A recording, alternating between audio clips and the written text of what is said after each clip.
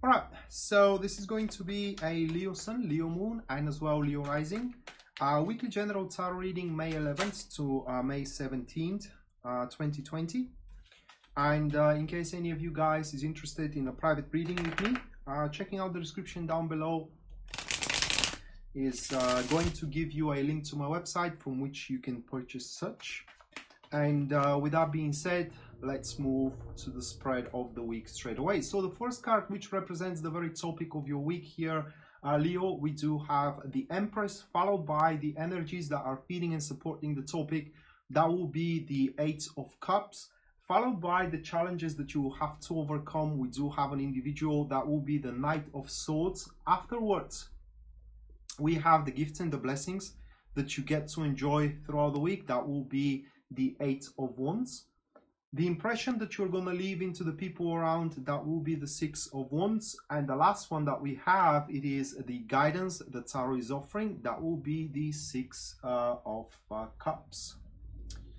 Quite interesting here. Um, so the challenges, it is what intrigues me and what kind of relation that's uh, that individual is going to have with the situation? Because the only th- the only thing that actually fits it is that you pretty much um, uh, this one cannot keep up with you and uh, you you just pretty much have to leave that individual behind. Either that could be a colleague that could be a friend it could be a lover you know or it could be a, a person of interest regardless.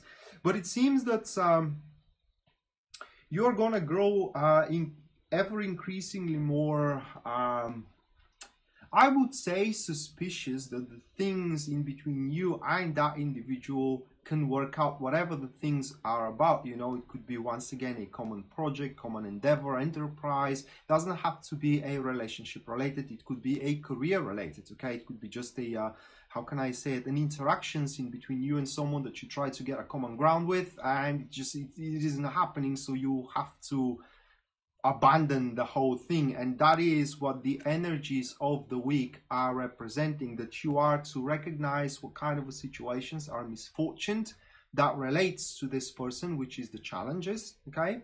That are these situations are misfortuned because not because they point a bunch of stress upon you not because they are posing a significant threat or making your um, environment and comfortable, be, but because it's such a shame that you could not reach an agreement. Okay, uh, it's like owning a pawn shop and you see a, a good, how can I say, a um, a good item come in, but the owner of the item that wants to sell it, it asks for ridiculous, ridiculous price, and no matter what kind of a expert experts you bring down, you just cannot make the person to see or to realize that they are never gonna make a deal for that price and nonetheless they are just you know wants what they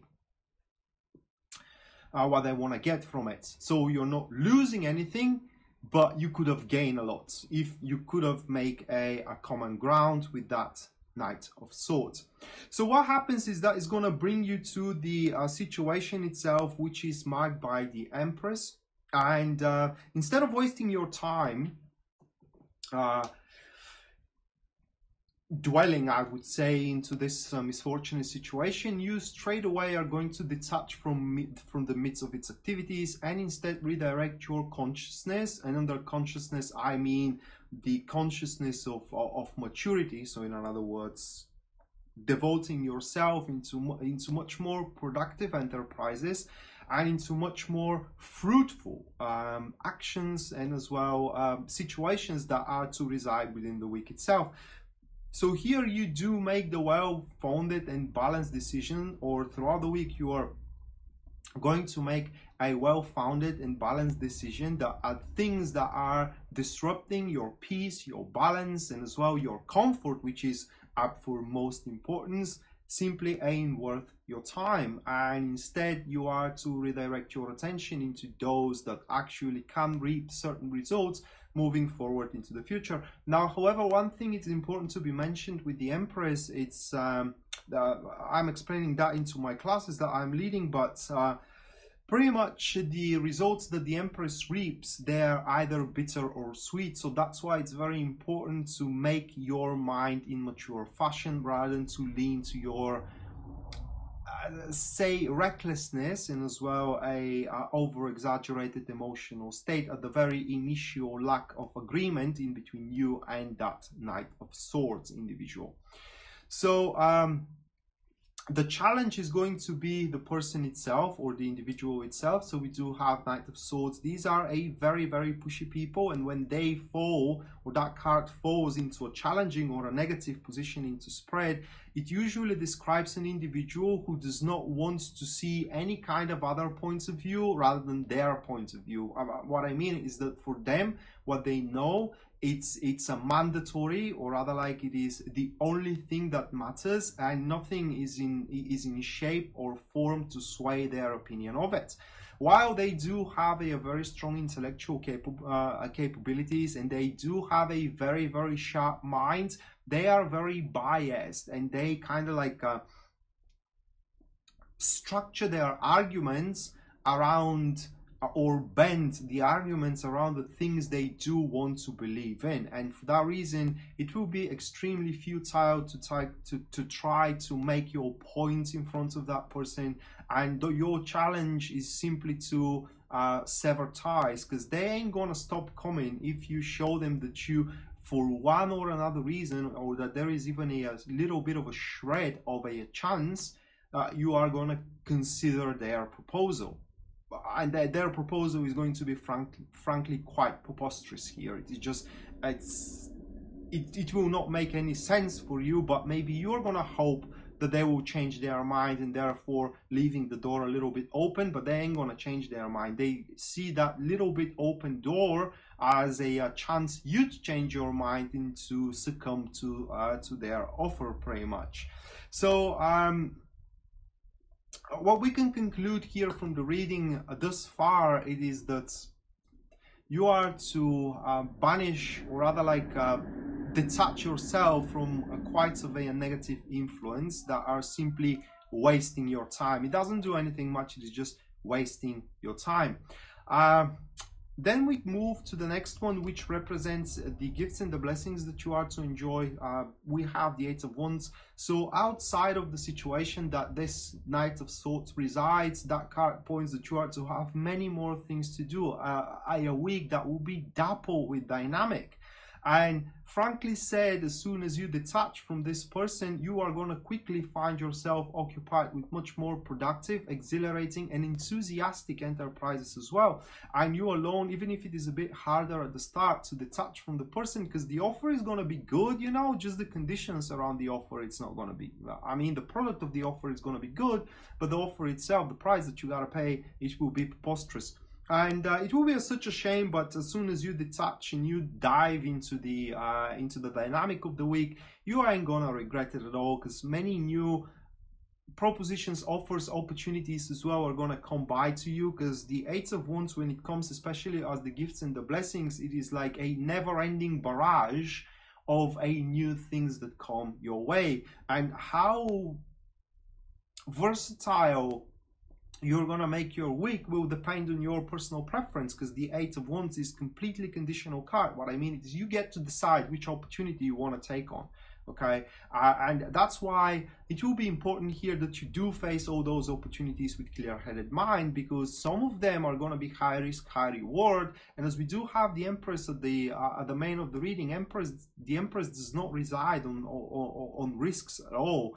And when you do scope a a, a good opportunity once again your uh, strategy should be that you do detach from it for a day or two or for an hour or two just say to the person you know i just want to think about it for a while and try to make your decision based on a mature fashion. So try to approach it in a mature way. But how people are going to see you and we do have uh, the uh, six of wands. Well people are going to see you as a, a, very successful individual and they are to recognize you for your um, for for your wealth but under wealth, I don't mean only money. Wealth could be skills, it could be health, it could be love as well. You know, wealth in general, not only in material, in its material um, manifestation, but also in its ethereal and spiritual uh, manifestation as well. And also, people, uh, some individuals that are around you as well, we will feel the necessity to reward you for your efforts. So, if you have made a um, some some work for somebody recently, uh, or you have fulfilled uh, the word just jump off my mind uh, any favors recently as well, even if you have not negotiated any price for them, uh, there is a, a, very, very big chance that you are to receive a compensation nonetheless for throughout that week. And whenever you find yourself struggling about something with the Six of Wands, a, a, quite surprising and unexpected help is going to be proposed to you. Should you take it or not? Well, that depends entirely on you. And the final card that we have, it is the guidance that Tarot is offering. So we do have the Six of Cups and uh, uh, it's pretty clear you have to focus in what makes you feel pleasant or rather like what uh, what ignites uh, what exerts pleasure into you and for that reason you need to make the um, the decision here, the well-found and mature balanced decision to detach from this person that it is Knight of Swords because simply that situation with this individual is going to give you anything else but a pleasure. And uh, you instead need to redirect to things that are making you feel happy because if you don't take care for your own happiness no one else will so that being said, um, Leo, this was your weekly general tarot reading, May 11 to May 17th, 2020. Hopefully you enjoyed it and you liked it, guys. And uh, once again, if you're interested in a private reading with me, checking out the description down below is going to give you a link to my website from which you can purchase such. And uh, we may see each other again. Until then, bye.